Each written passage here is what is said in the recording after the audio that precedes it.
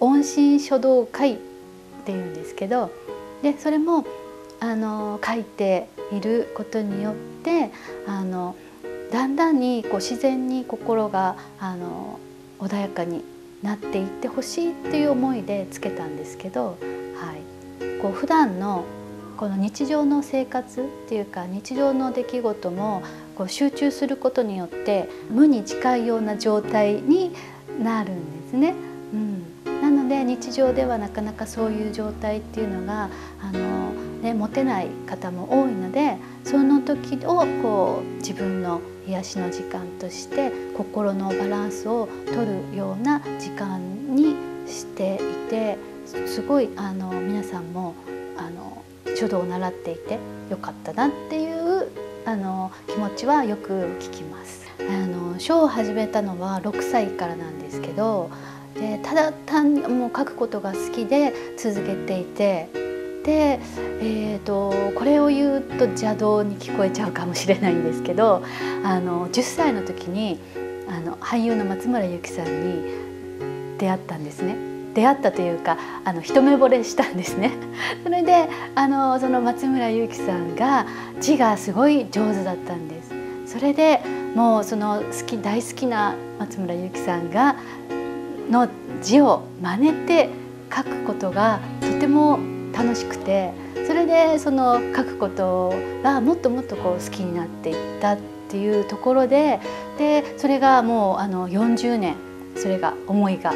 あの続いていってですごいこう普段も活力をあの作品を書くのもすごい活力をもらってるっていうところです。本格的に始めたのは二十歳過ぎてからですね。それで、えーとまあ、展覧会に出すようになったり、うん、したのもその頃で。でやっぱり最初描く時はあの形とかあの美しさにとらわれてしまうんですけど、うん、だんだん描いているうちにえーと、一線一線こう真剣に書いているとこう心が安らいでくるんですね。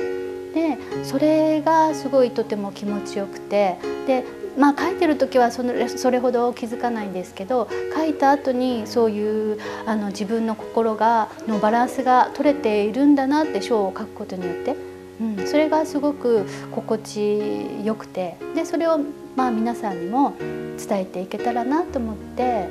うんですね。それが一番のこう書道をしていて魅力を感じるところかなと思うんですけど寿が100個書かれているあの天書で書かれている「百数図」っていうあの作品があるんですけどそれをあの商品化をしたくてでいろんな形あのいろんな、えーと、何でしょうねあの形でその百数図を発信できたらなと思ってこの間は携帯のカバースマホのカバーを作ったりとこれからはもっといろいろ形を変えて、うん、発信して、うん、あとはあの自分で百数図以外にもこうなん書道に限らずこうアートの